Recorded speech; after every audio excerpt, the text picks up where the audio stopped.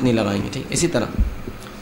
Has की हालत में जो है, औरत को तलाक़ नहीं देनी चाहिए, ठीक है? वैसा करना हराम है, लेकिन बहरहाल तलाक़ हो सकती है। ये कोई उज़र नहीं पेश कर सकता कोई कि मैं सताने के लिए बीवी को हैज़ की हालत में दे दूँगा, ठीक? लेकिन नहीं देना चाहिए। आप सल्लल्लाहु अलैहि वसल्लम को जब बताया गया कि अब्दुल्ला इब्न उमर ने तलाक़ दी अपनी बीवी को हैज़ की हालत में तो कहा, रुजू कर। और तहूर जब पाक हो तो जब उसको तलाक़ देना, ठीक? है लेकिन इसका हरगिज़ ये मतलब नहीं है कि आप तंग करने के लिए, बहुत से लोग ऐसा करते हैं। एक साहब का मुझे कॉल कुछ ही दिन पहले आया, कहा कि मैं अपने बीवी को तंग करने के लिए अगर उसको गुस्सा आया ना तो हैज़ की हालत में तलाक़ देता हूँ। उसमें नहीं होती ना। तो ये कोई खेल करने की चीज़ है, तलाक़। हाँ आपको अगर मैं गंदू आपकी हिफाजत के लिए तो क्या आप उसको ऐसी हवा में गोलियाँ मारते रहेंगे कि आज आदमी हो तो मैं एक गोली मार देता फना मत यूज़ कीजिए। आज पता नहीं आपको उन्होंने अगर बोल दिया हैज़ मेरा ख़त्म हो गया तो।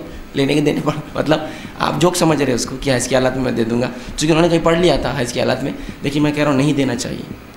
ये हराम है, दुरुस्त नहीं है। लेकिन इसका हरगिज़ मतलब ये नहीं कि तलाक़ नहीं होगी। ठीक है? तो बहरहाल, इस बात को आपको समझना होगा, हमको समझना होगा। ठीक? तो ये काम वो नहीं करेंगी, याद रखिए। ठीक? है तो मैं समझता हूँ